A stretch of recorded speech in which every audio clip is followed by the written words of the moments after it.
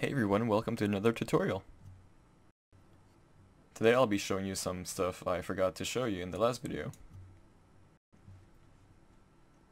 So as you know, this is Honey Select and we actually want to um, mix our animations together, especially if they're uh, H animations.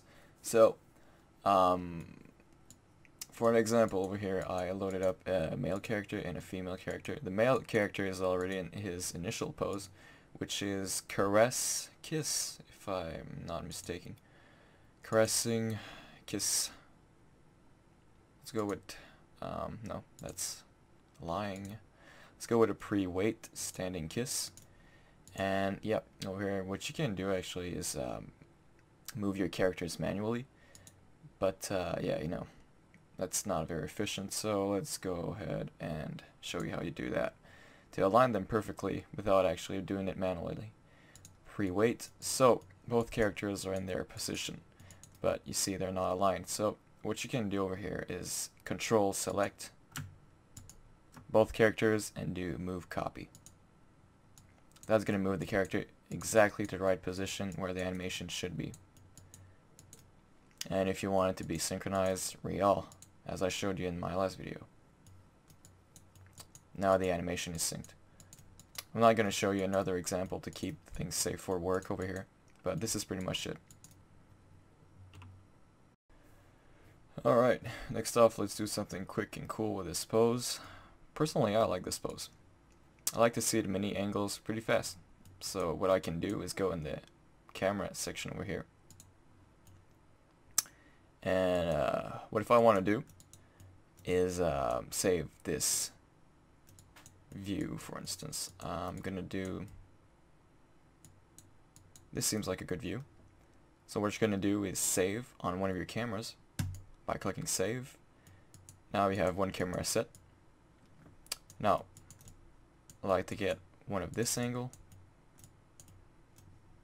Press save on your second camera and it's saved. Now I want this angle as well. So press save on your third camera and we'll do one last one for the fourth camera. Save in the pose you want. Alright. Now if I want to check all the angles of this pose, simply press your cameras. That's camera 1, camera 2, camera 3, and camera 4. It's very useful when you have a lot of characters in your scene and you want, you know, get, get to get a fixed camera pretty fast on your character.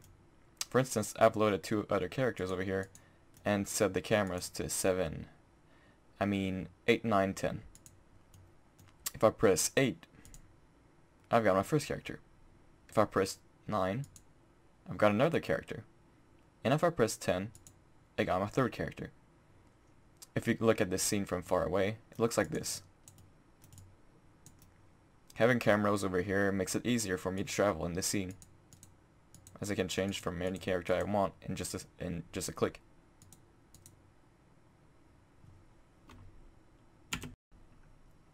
I understand I went pretty fast with the parenting in my last video, so I want to make sure everybody uh, really understands how it actually works.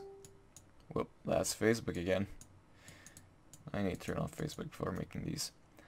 I set up a volleyball and a camera over here.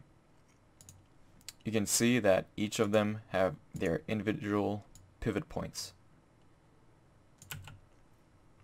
If I want to parent them, press one of them, control select another one and parent them. Now if you can see, if I turn the pivot point of the master, which is the volleyball, since it's the one I selected first, both of them are going to rotate. If you go in your group, you can actually rotate each one individually.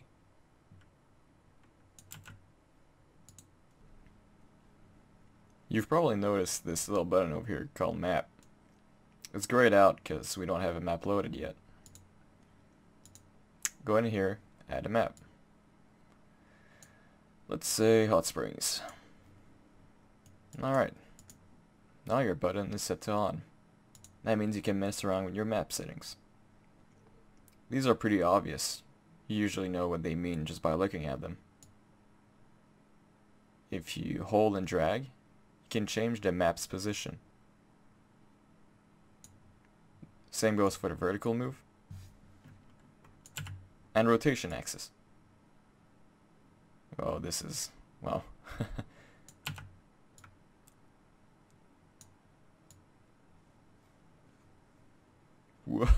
Whoa! Alright, you can also enter the units manually over here. I don't see why you do that, but, you know, they're still there. There's also a button over here called free. If you click on it, it's going to lock your camera. No matter how hard you try, camera's going to stay there. If you want to unlock it, click again. It'll free your camera. You can click Ctrl D to duplicate an object, or come over here on your copy object. That's going to duplicate your object very easily. Hmm. If some are wondering how to get your background black like this one, go over here in, in your System tab to Configuration. Go to Background Color and change it. If you do not see this, it's because your color over here is to gray. To turn it back on, just simply press a button. The default studio, if I remember right, begins about like this. I don't like working like this, it's too bright for me, so I put it always to blackish gray. There we go, that's easy on the eyes. Well, that was pretty much it for these additional tips for Honey Select Studio Neo. As always, if you have any questions or anything, even tips that can help me grow even better at this, um, simply comment in the comment section below. If you feel like subscribing or leaving a like, that always helps. So, have a good evening everyone.